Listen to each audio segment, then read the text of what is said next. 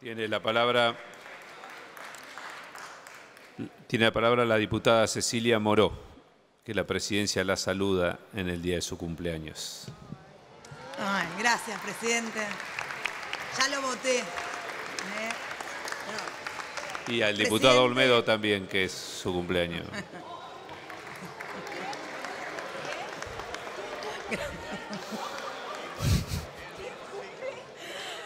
Presidente, bueno, esta ley que vamos a aprobar hoy, calculo que va a ser aprobada por unanimidad.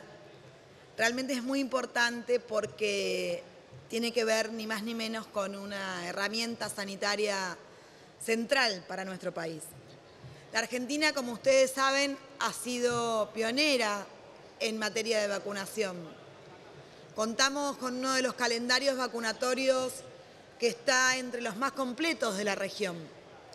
Ejemplo de ello, me parece que es importante recalcar la incorporación de la vacuna del VPH para niñas y después niños para prevenir el cáncer de cuello del útero o incluir la, la vacuna de la hepatitis A, enfermedad por la cual miles de pacientes necesitaban cada año un trasplante hepático, número que ha ido bajando gracias a esto.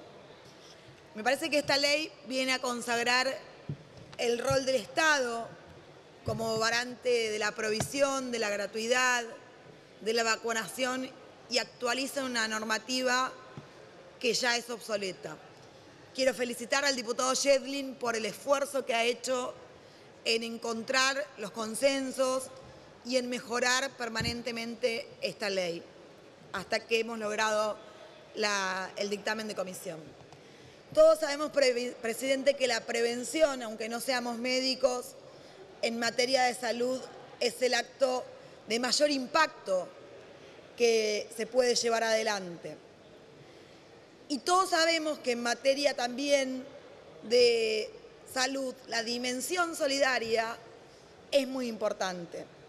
Muchas veces la gente en un gesto de cuidado de ciertos grupos más vulnerables o de cuidado hacia sus compatriotas, su familia, sus vecinos, se vacuna no solo para protegerse a ellos, sino fundamentalmente para proteger a otros de, de, riesgos y de contagios.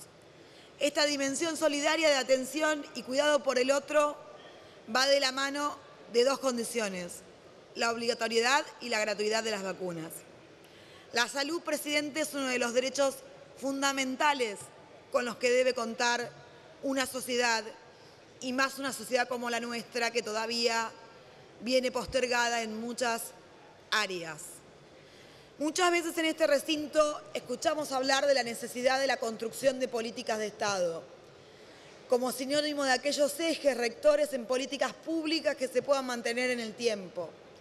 Entonces, presidente, debemos ser capaces de asumir que en esto tenemos una deuda y dar este paso que hoy damos, que es muy importante, pero creo que no es suficiente. En nuestro país, como dije antes, hay muchos sectores vulnerables que todavía no reciben vacunas. Ayer conocimos una cifra escalofriante.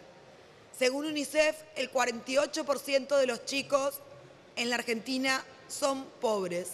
No le estamos asegurando un plato de comida y además son los que no tienen certeza sobre su futuro en ningún aspecto porque hay un Estado que está ausente.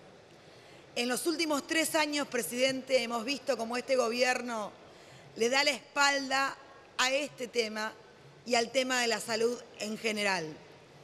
En el recorte que se hizo al Instituto Malbrán, que para los que no saben es el encargado de la vigilancia epidemiológica del país, donde se encuentran los laboratorios cabecera de aproximadamente 30 redes. Cada red atiende una patología diferente.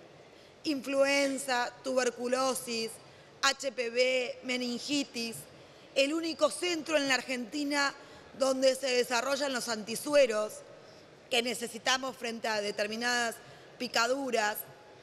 Y su trabajo también permitió detectar los casos de sarampión que se produjeron en nuestro país este año, después de estar libres del virus desde el año 2002.